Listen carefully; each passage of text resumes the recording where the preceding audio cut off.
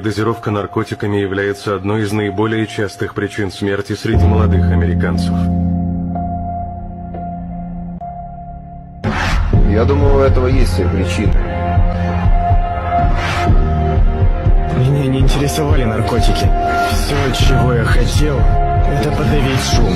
Но чем больше я принимал, тем громче она становилась. Попробовав, я почувствовал. И я почувствовал себя счастливее.